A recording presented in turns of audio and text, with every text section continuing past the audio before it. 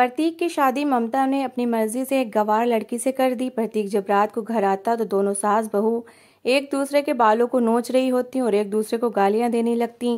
और जब वो कारण पूछता तो गलती दोनों की होती। एक दिन ममता ने डंडा लेकर बहू का सिर फोड़ दिया और बहू ने उसे छत से धक्का दिया तो उसकी टांग टूट गई। और जब प्रतीक आया तो ममता बोली, पत्नी को तलाक दो और पत्नी से कहने लगी। माँ को घर से, पत्नी कहने लगी, माँ को घर से निकालो या मुझे यहाँ से ले जाओ। तो ये सारा दृश्य देखकर पति का दिमाग चकरा गया और अगली सुबह जब सास बहू उठी तो दोनों के कदमों तले से ज़मीन निकल गई क्योंकि मार्केट में फिरते हुए प्रतीक परेशान हो चुका था। थकावट से उसका बुरा हाल था, मगर ममता थी कि बस करने का नाम ही नहीं ले रही थी। ममता उसकी माँ का नाम था और इससे वो अपनी दिवाली के कपड़ों की शॉपिंग करने के लिए मार्केट में आई थी। मगर पूरा मार्केट फिरने के बाद भी उसे अपने लिए कोई सूट पसंद नहीं आया था।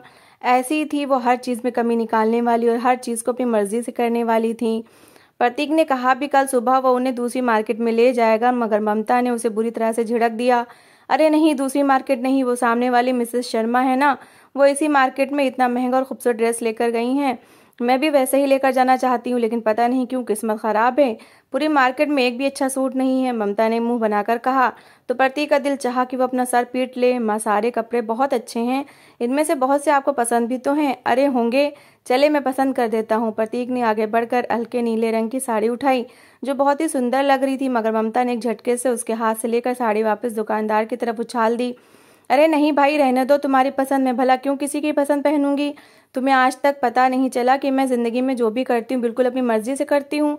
तुम्हारे पिताजी भी कभी मेरे कामों में नहीं बोलते थे और फिर तुम क्यों बोल रहे हो? तुम तो अभी मेरे आगे बच्चे हो, चलो यहाँ से। मैं कल दोबारा इसी मार्केट में आऊँगी तो कोई ना कोई अच्छी साड़ी ढूंढ लूँगी। तुम अपनी पसंद अपने पास ही रखो। ममता ने पति को घूरते हुए कहा तो वो कंधे उचकाते हुए चुपचाप से वापस पलट आया। उससे क्या मतलब माँ ने साड़ी ली थी या नहीं, मगर इतना शुक्र था कि वो घर वापस आने पर राज़ी हो गई थी।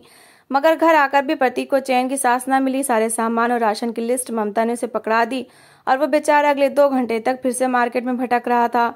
वो वैसे ही बहुत विनर्म और बनाकर रखने वाला व्यक्ति था, उसका स्वभाव अपने पिता पर गया था। ममता तेज तरार थी, इसलिए इसने सारी ज़िंदगी अपने पति को दबाकर रखा था और वही हाल प्रतीक का था, इकलौता जवान बेटा जो अच्छी नौकरी पर था। ममता के लिए बड़े गर्व का कारण था, लेकिन इसके बाद भी ममता कभी उसकी किसी बात को महत्व नहीं देती थी।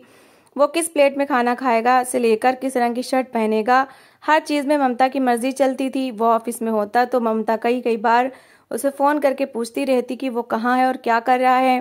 प्रतीक को उसे अपनी हर जानकारी देनी होती और उसे इसमें कोई बुराई भी नहीं फील होती थी, क्योंकि ममता आखिर उसकी माँ थी। यहाँ पर वो कभी कभी तंग ज़रूर हो जाया करता था, मगर प्रतीक नहीं जानता था कि आने वाले दिन उसके लिए कितने कठिन साबित होने वाले हैं। उस रात वो ऑफ़िस से घर वापस आया तो मोहल्ले के रिश्ते कराने वाली और ममता के साथ बैठी हुई थी, औरत ममता के साथ बैठी हुई थी प्रतीक का माथा ठनका और बाद में उसे पता चला कि वो सही सोच रहा था। ममता ने रिश्ता कराने वाली को बुलाया था और प्रतीक के लिए लड़की देखने की इच्छा जताई थी। प्रतीक को बहुत गुस्सा आया। वो अपनी पसंद की शादी करना चाहता था और इस पसंद की शादी के लिए उसने अपना एक आइडियल सोच रखा था। वैसा ही आइडियल जैसा उसके ऑफ़िस में काम करने वाली एक लड़की वंतिका थी। सुंदर, प्यारी और धीमी आवाज़ में बात करने वाली, अपने काम से काम रखने वाली, मज़बूत कैरेक्टर की लड़की। प्रतीक को वो बहुत अच्छी लगती थी और वो दिल दिल में ये इच्छा रखता था कि जल्दी माँ को उसके घर रिश्ता लेकर भेजेगा। लेकिन यहाँ तो माँ अपनी पसंद की बहू लाने की तैयारी कर रही थी। प्रतीक जानता था कि अगर ममता ने कोई लड़की पसंद कर ली तो उसे कोई, उसकी पसंद के पीछे हटाना असंभव है, इसलिए उसने फैसला किया कि वो आज ही माँ से वंतिका के बारे में बात करेगा। ममता रात को कमरे में आई तो प्रतीक ने दबे दबे शब्दों में उसे वंतिका के बारे में बताया। उसे ममता आराम से उसकी बात सुनेगी, उसे लगा, ममता आराम से उसकी बात सुनेगी, मगर वो तो हत्ते से ही उखड़ गई। क्या कहा? कौन है ये कलमोही वंतिका किसी के साथ नहीं करूँगी तुम्हारी शादी, अकल है या नहीं? और चले हो लड़की पसंद करने? तुम्हें पता है तो है, मैं अपनी पसंद की चीज़ ही घर में लाती हूँ। और अब तो बहू लाने की बात है, वो किसी और की पसंद की कैसे ला सकती हूँ? लड़की मैं खुद देखूँगी और खुद ही पसंद करूँगी, तुम रहने दो। दो टूक अंदाज में कहकर ममता ने तो बात ही खत्म कर दी, प्रतीक अपना सा मुँह लेकर रह गया। वो जानता था बहस करना बेकार है, इसलिए दिल ही दिल में प्रार्थना करने लगा कि ममता को कोई अच्छी लड़की पसंद आ जाए। रविवार के दिन उसकी छुट्टी थी। वो कुछ देर से सोकर उठा, जैसे कमरे से बाहर निकला तो हैरान रह गया। कमरे में मिठाई के बड़े बड़े टोकरे रखे हुए थे और ममता बड़ी फुर्ती से तैयार होकर इधर उधर चहकती फिर रही थी। प्रतीक ने आगे बढ़कर पूछा, माँ, ये सब क्या है? मिठाई किस लिए मंगवाई है? ममता ने उसे देखा और बोली, तेरी मंगनी के लिए मिठाई मंगवाई है। अब जल्दी से हाथ मुँह धो के तैयार होके आ जाना। नाश्ता करने की भी कोई ज़रूरत नहीं है। देर हो जाएगी। हम लोग लड़की वालों के घर जा रहे हैं। प्रतीक हक्का बक्का मुँह खोले ममता को देखता रह गया। उससे ये भी ना पूछा गया कि लड़की पसंद है या नहीं, वो लड़की कौन है, जिससे उसकी शादी हो रही है। उसने कुछ कहना चाहा तो ममता ने उसे झड़क दिया। वो ना चाहते हुए भी ममता के साथ लड़की वालों के घर चला गया। वहाँ तो पूरी मंगनी की तैयारियाँ चल रही थी। खूब सारे मेहमान आए हुए थे। प्रतीक को समझ नहीं आ रहा था कि वो क्या करे, उसे अभी तक यही नहीं पता था कि उसकी शादी किससे हो रही है। उसे अंदर कमरे में ले जाकर बिठा दिया गया और थोड़ी देर बाद लड़की को भी अंदर से निकाल कर ला कर उसके बराबर में बिठा दिया गया। प्रतीक ने थोड़ा सा उसकी तरफ़ झुक कर देखा। वो काफ़ी सुंदर लड़की थी। प्रतीक के दिल को थोड़ा सुकून हुआ, मगर उसकी इच्छा एक सुलझी हुई समझदार लड़की की थी। थोड़ी देर के बाद प्रतीक को अंदाज़ा हो गया कि माँ ने उसके लिए जो लड़की पसंद की है, वो बिल्कुल उसके आइडियल से मैच नहीं करती। वो बात मुँह पर मुँह खोलकर ज़ोर ज़ोर से हंसने लगती। उसने लंबे लंबे नाखून बढ़ा रखे थे, मगर नाखूनों की कोई सफ़ाई नहीं की हुई थी। वो बड़े बेशरम अंदाज में प्रतीक से बातें कर रही थी। ममता की वो खूब तारीफें कर रही थी। इसलिए ममता तो उसके सदकेवारी जा रही थी। ममता ने प्रतीक के हाथ में अंगूठी पकड़ाई और ज़बरदस्ती लड़की के हाथ में पहना दी। प्रतीक का दिल बहुत ख़राब हो रहा था, वो लड़की और उसके घर वालों के तेवर देखकर समझ गया था कि वो सब के सब अच्छे खासे गवार थे। उन्हें ना उठने बैठने की तमीज़ थी, ना खाने पीने की खाने की प्लेट भरकर वो हाथों से खाना खा रहे थे और उंगलियाँ किनारों तक चाट रहे थे और साथ साथ ये भी कहते कि खाना तो ऐसे ही हाथ से खाना चाहिए। प्रतीक खामोश बैठा रहा और घर वापस आ गया। घर आकर उसने ममता से काफ़ी लड़ाई की कि उसे उस लड़की से शादी नहीं करनी।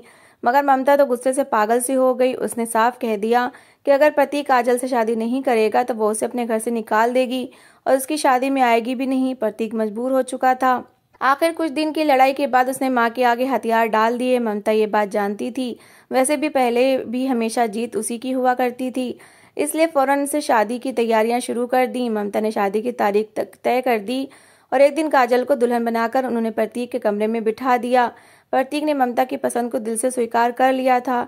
जैसे ही वो कमरे में के अंदर गया, अचानक पीछे से घर में एक हड़कम सी मच गई। ममता ज़ोर ज़ोर से शोर मचा रही थी, क्योंकि लड़की के घर वाले लड़की को विदा करने के साथ सारे के सारे उन्हीं के घर आ गए थे। प्रतीक ने तुरंत बाहर निकलकर झाका। सच में एक पूरी टीम बनाकर सारे लड़की वाले उनके घर में थे। क्या बात है भाई साहब, क्या कोई परेशानी की बात है? प्रतीक ने कमरे से बाहर निकलते हुए पूछा। मेहमानों से भरा हुआ घर मेहमानों से भरा हुआ था। काजल के पिता आगे और बोले, अरे नहीं, बात कैसी? तुम हमारी लड़की ले आए हो तो हमने सोचा कि तुमसे भी कुछ मांग लें। आज की आज की रात ही तुमसे कुछ लिखवा सकते हैं, वरना तो तुम मुकर जाओगे। बाद में मुँह टेढ़ा करके हँसते हुए काजल के पिता ने बड़ी अजीब सी बात की। प्रतीक को उनकी बात बिल्कुल समझ नहीं आई। सारे मेहमान मुँह दबाकर हंसने लगे। मगर प्रतीक ने खुद पर कंट्रोल किया और पूछा, क्या लिखवाना चाहते हैं आप? काजल के पिता ने हाथ में पकड़े हुए कुछ पेपर्स प्रतीक की ओर बढ़ाए और बोले, बस इन पेपर्स पर साइन कर दो। ये हमारी बच्ची के सिक्योरिटी के लिए हैं। ये मकान काजल के नाम कर दो। वरना हम अभी और इसी समय अपनी बेटी को ले जाएँगे। प्रतीक हक्का बक्का रह गया। उसने पलटकर ममता की ओर देखा। वो खुद मुँह खोले उनकी बात सुन रही थी। उसने सोचा भी ना था कि अपनी मर्ज़ी से वो जो लड़की पसंद करके ला रही है, उसके घर वाले शादी वाले दिन ये हरकत करेंगे। ममता ने आगे बढ़कर बात संभालने की कोशिश की, मगर वो एक बात करती तो लड़की वाले उसे दो जवाब देते। आखिरकार मामला काफ़ी बिगड़ गया। ममता काफ़ी देर लड़ाई करती रही और बाकी घर के लोग भी लड़ते रहे। आखिरकार प्रतीक तंग आ गया। उसने एकदम सबको चुप होने को कहा और अपने ससुर के हाथ से पेपर्स लेकर कहा, लाइए दीजिए, मैं साइन कर देता हूँ। ये घर आज से काजल के नाम पर होगा। अब आप लोग खामोशी से यहाँ चले जाएँ। ममता का मुँह खुला का खुला रह गया। अरे ऐसे कैसे इसके नाम कर रहा है? ममता ने चीखना चिल्लाना शुरू कर दिया मगर प्रतीक ने उन्हें चुप करवाना चाह कर, करवा दिया और जल्दी से साइन करके पेपर्स उनके हवाले कर दिए। काजल के घर वाले बहुत खुश हो गए और सब लोग चुपचाप वापस चले गए मगर सारे रिश्तेदारों में बात फैल गई कि ममता ने कैसे लोगों से रिश्ता जोड़ लिया है। खुद प्रतीक का दिल खराब हो गया था। वो बुझी दिल के साथ कमरे में अंदर जाकर बैठ गया जहाँ काजल मज़े से बैठी फ्रूट खा रही थी। प्रतीक को लगा वो किस मुसीबत में फंस गया है, मगर अभी तो सिर्फ़ शुरुआत थी। शादी की रात गुजरी तो अगले दिन से फिर तमाशे शुरू हो गए, काजल बिल्कुल मुंहफट थी और उसे किसी काम में दूसरे की हस्तक्षेप पसंद नहीं थी, यही हाल ममता का भी था। उसे भी अपनी मर्ज़ी चलाने की आदत थी, इन सब के बीच में बेचारा प्रतीक पिसकर रह जाता। खाने में क्या बनना है, कैसे पर्दे लगाए जाएँगे, कौन सी काम वाली रखी जाएगी, इन चीज़ों को लेकर दोनों में हमेशा की तकरार रहने लगी। प्रतीक की सैलरी कौन अपने हाथ में रखेगा और कौन घर का बजट चलाएगा इस बात पर आए दिन इन दोनों की झगड़े होते। एक दिन वो घर आया तो उसके तो होश ही उड़ गए, क्योंकि आँगन के बीचों बीच ममता और उसकी पत्नी काजल आपस में गुत्थम गुत्था थी। एक दूसरे को गंदी गालियाँ निकालते हुए दोनों एक दूसरे से झगड़ा कर रही थी। ममता ने काजल के बालों को पकड़ रखा था और काजल के हाथ में ममता की चोटी थी। साथ ही वो, साथ ही साथ वो एक दूसरे को मार भी रही थी। प्रतीक के तो होश ही उड़ गए। उसने आगे बढ़कर दोनों को बड़ी मुश्किल से अलग किया। क्या बात है? क्यों जानवरों की तरह एक दूसरे से लड़ाई कर रही हैं? आखिर हुआ क्या है? प्रतीक ने अपना माथा पीटते हुए इन दोनों से पूछा, ममता रोने लगी और कहने लगी, प्रतीक, तेरी पत्नी बड़ी बदतमीज है। आज मैंने कहा था कि मुझे आलू गोभी खाना है, मगर इसने जानबूझकर दाल बना ली है। इससे मेरी खुशी सहनी नहीं होती, मगर मैं इससे कुछ कहूँ तो ये आगे से बदतमीजी करती है। गज भर की लंबी ज़ुबान है इसकी। ममता की बात अभी उसके मुँह में ही थी। अचानक काजल उसकी बात काट कर चमक कर बोली, अरे बस कीजिए माँ जी, ड्रामे मत करे, इतने झूठ तो कोई भी नहीं बोलता जितने आप बोलती हैं। मैं मजबूर हो गई थी आपको सबक सिखाने के लिए। जो कुछ आपने कल मेरे घर वालों के साथ किया था, उसके बाद आप, अब आपको क्या लगता है, मैं आपके पसंद के खाने बनाऊँगी? कल मेरे घर वाले आए और आपने उन्हें चाय पर ही टरका दिया। वो तो मैं घर पर नहीं थी। जैसे ही मैं घर वापस आई तो माँ ने फ़ोन करके मुझे बताया, आखिर आप ऐसा कर कर भी कैसे सकती हैं? वो मेरे घर वाले हैं। काजल हाथ नचा नचा कर बोल रही थी, कहीं से भी नहीं लग रहा था कि वो अपनी उम्र से बड़ी किसी औरत से बात कर रही है। प्रतीक को बहुत बुरा लगा। ममता जैसी भी थी, उसकी माँ थी और काजल जैसी भी थी, उसकी पत्नी थी। प्रतीक के देखते देखते वो दोनों एक बार फिर आपस में गुत्थम गुत्था हो गई और फिर इसे एक दूसरे को गालियाँ देने लगी। यहाँ तक कि एक दूसरे को मारने पीटने से भी पीछे नहीं हट रही थी। प्रतीक ने तंग आकर फिर से दोनों को अलग किया और काजल को घसीटते हुए कमरे में ले जाकर दरवाज़ा बंद कर दिया। ममता मुँह बिसोर कर वहीं रैंग रूम में बैठ गई। प्रतीक ने अपना सर पकड़ लिया। उसे पता था, आप कमरे में जाएगा तो काजल रोने धोने शुरू कर, हो जाएँगे। माँ के पास जाकर बैठेगा तो वो काजल को बुरा भला कहेंगी। और ऐसा ही हुआ जितनी देर वो बाहर बैठा रहा ममता उसे काजल की बुराइयाँ गिनवाती रहीं। और साथ साथ ये भी कहती रहीं कि वो पछता रही कि उसने काजल की शादी प्रतीक से क्यों की। काजल एक बेहद जाहिल लड़की है, उसे घर का कोई कामकाज नहीं आता। और वो बहुत जवाब देती है, प्रतीक खामोशी से सब सुनता रहा। क्या जवाब देता कि काजल तो वो खुद पसंद करके घर लाई थी? अपनी माना तो उसकी मजबूरी थी। वो बात को ख़त्म करने वाला इंसान था। उसने ममता को तसल्ली दी कि वो काजल को मना लेगा और वो उससे आकर माफ़ी मांग लेगी। ममता खुश हो गई, मगर प्रतीक जैसे कमरे का दरवाज़ा खोलकर अंदर गया। काजल गुस्से से उस पर चिल्लाई, अपनी माँ को क्यों कहा कि मैं उनसे माफ़ी मांगूँगी? तुम्हारी माँ इस लायक नहीं है और ना ही तुम सब लोग इस लायक हो। अगर किसी ने मुझे दोबारा परेशान करने की कोशिश की तो फिर डंडा लेकर मैं उनका सर फोड़ दूँगी। चिल्लाते हुए काजल बिल्कुल ही आपे से बाहर लग रही थी। वो पूरा घंटा जाहिलों की तरह चिल्लाती रही और सिर पकड़कर रह जाता। उसे पता था काजल माँ बनने वाली और ऐसे में वो उसे छोड़ भी नहीं सकता था। उसने बड़ी मुश्किल से ममता मामला शांत किया और बात आई गई, हो गई। एक दिन शाम के समय प्रतीक ऑफ़िस से घर आया तो मौसम बहुत ही अच्छा हो रहा था। आते ही उसने काजल को आवाज़ लगाई, काजल, अच्छी से चाय बनाओ। ऊपर छत पर चलकर पीते हैं। अभी उसने इतना ही कहा था कि उसकी नज़र ममता पर पड़ी। जो ड्राइंग रूम के सोफे पर बैठी अजीब सी नज़रों से उसे घूर रही थी। यूँ जैसे उसने माँ का नाम न लेकर कोई बड़ी बहुत बड़ी गलती कर दी हो। प्रतीक हड़बड़ा के उसने ममता से कहा कि, माँ, जल्दी करें, आप भी तैयार हो जाएँ, चाय बनते ही हम सब ऊपर जाएँगे। आज बहुत अच्छा मौसम हो रहा है। ममता ने चैन की सांस ली। थोड़ी देर के बाद चाय बन गई तो तीनों चाय लेकर ऊपर छत पर चले गए।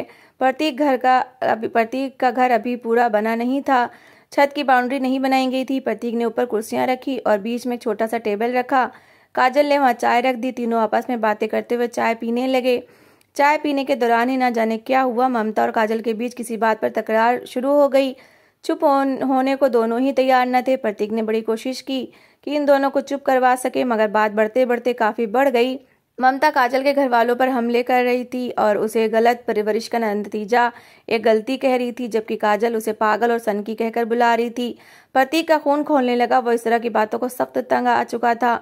लेकिन इससे पहले कि वो कुछ करता अचानक काजल बोली, मुझे तो यकीन नहीं आता कि प्रतीक जैसे सीधे इंसान की माँ आप कैसे हो सकती हैं। शायद आपको भगवान ने बच्चा दिया ही नहीं होगा। आपने कहीं कूड़े के ढेर से या अनाथ आश्रम से बच्चा उठाकर पाल लिया होगा। आपकी तो शक्ल ही ऐसी नहीं है कि आपको कोई खुशी मिले। काजल की आवाज़ में बहुत ही बदतमीजी थी। ममता का धैर्य जवाब दे गया। वो एकदम नीचे झुकी और मिस्त्रियों के काम करने वाला एक डंडा उठा लिया। इससे पहले कि प्रतीक या काजल कुछ समझ पाते, ममता ने एक जोरदार डंडा काजल के सिर में दे मारा। डंडा लगते ही काजल सिर से सिर से खून तेज़ी से निकलने लगा। साथ बैठा प्रतीक सन्नाटे में रह गया। उसके पैर जैसे जम से गए, उसे समझ नहीं आ रहा था कि वो क्या करे। लेकिन उसके साथ बैठी हुई काजल के सिर से खून उबल उबल कर बाहर आ रहा था। वो उसकी नफरत की आग अभी भी ठंडी नहीं हुई थी। वो लड़खड़ाते कदमों से उठी और उसने ममता को पकड़ लिया। वो जवान थी और ममता अधेड़ उम्र की। थोड़ी कमज़ोर भी हो रही थी। काजल ने पूरी ताकत से ममता को छत से नीचे धक्का दे दिया। छत की मुंडेर तो थी ही नहीं। मामूली सी कोशिश से ही ममता अपनी ही झोंक में छत से नीचे जा गिरी। प्रतीक जो अभी तक खामोश बैठा था, एकदम बौखलाकर उठ खड़ा हुआ, उसे जैसे होश आ गया। वो दौड़ता हुआ नीचे माँ के पास पहुँचा, जो औंधे मुँह गिरी हुई थी। देखते ही पता चल रहा था कि उसकी टांग की हड्डी टूट चुकी है। प्रतीक ने गुस्से से सिर उठाकर ऊपर देखा जहाँ काजल अपने फटे हुए सर को थामे खड़ी थी। प्रतीक को अंदाज़ा हुआ कि इस घर में कितनी बड़ी मेडिकल इमरजेंसी हो चुकी है। उसने एंबुलेंस को फ़ोन किया और जल्दी एंबुलेंस में दोनों को एक साथ बिठाकर अस्पताल की ओर दौड़ा। अस्पताल वालों ने ट्रीटमेंट तो कर दिया, मगर ममता की टांग पर एक बड़ा सा प्लास्टर बाँध दिया और ममता के सिर पर भी पट्टी काजल के सिर पर भी पट्टी बन चुकी थी। उसकी प्रेगनेंसी खून ज़्यादा बह जाने के कारण से खतरे में थी। दो दिन के बाद दोनों औरतें घर आ गईं, मगर ममता अब चारपाई से उठ नहीं सकती थी। काजल का मिसकेरेज हो चुका था, जिसकी वजह से वो अलग सदमे में थी। मगर प्रतीक बिल्कुल खामोश था। दोनों सास बहू एक दूसरे को देखते ही मुँह फेर लेती। मगर प्रतीक ने कुछ और ही सोच लिया था। एक सुबह जब काजल नींद से जागी तो खामोशी से कमरे से उठकर किचन में आई। माँ की सेवा करने के लिए प्रतीक ने एक औरत रख ली थी। काफ़ी देर गुजर गई, मगर प्रतीक अभी तक, अभी जाकर कमरे से बाहर ना आया था। काजल ने जब दोबारा जाकर कमरे में देखा तो हैरान रह गई। प्रतीक कपड़ों का एक बैग तैयार कर रहा था। काजल तो जैसे चौकर रह गई। उसने ममता को आवाज़ दी, माँ, देखिए प्रतीक कहाँ जा, कहीं जा रहे हैं? मगर प्रतीक अनसुनी करके पैकिंग करता रहा। काफ़ी देर पूछने के उसने जैसे फट पड़ने के अंदाज में जवाब दिया। कि वो उन दोनों की जाहिलाना हरकत और बातों से तंग आ चुका है और ये घर छोड़कर जा रहा है। अब वो कभी वापस नहीं आएगा। काजल सकते में आ गई और ममता के भी होश उड़ गए। प्रतीक उसका इकलौता बेटा था और वो काजल का पति था। दोनों ने एक दूसरे की ओर देखा और फिर प्रतीक की ओर देखा जो कमरे से बाहर निकल रहा था। अगले ही पल काजल ने लपक कर प्रतीक का हाथ थाम लिया। मुझे माफ़ कर दीजिए, प्रतीक, घर छोड़कर मत जाए। मैं कभी आपके माँ से, के साथ बदतमीजी नहीं करूँगी। प्रतीक ने पलटकर काजल को देखा। उसकी आँखों में आँसू थे और फिर ममता को जो चारपाई से उठ नहीं सकती थी, मगर वहीं से हाथ जोड़कर प्रतीक से माफ़ी मांग रही थी और कह रही थी, बेटा, मुझे माफ़ कर दो, मैं आगे से कभी कोई ऐसा काम नहीं करूँगी और तुम्हारी पत्नी को खुले दिल से स्वीकार करूँगी। प्रतीक को दोनों की बातों पर विश्वास नहीं आ रहा था, मगर बात मानने के सिवा चारा ही क्या था। उसने खुले दिल से दोनों को माफ़ कर दिया और सच में दोनों ने ही साबित कर दिया कि उन्होंने प्रतीक की खातिर अपने आप को बदल लिया है। तो दोस्तों, इस कहानी को लेकर आपकी क्या राय है? कमेंट बॉक्स में ज़रूर बताएँ। और अगर आपको हमारी आज की कहानी अच्छी लगी हो तो प्लीज़ लाइक ज़रूर करें। अगर आपने अभी तक हमारे चैनल को सब्सक्राइब नहीं किया तो ज़रूर कर लीजिए। तो मिलते हैं ऐसी एक और मोटिवेशनल कहानी के साथ। Thanks for watching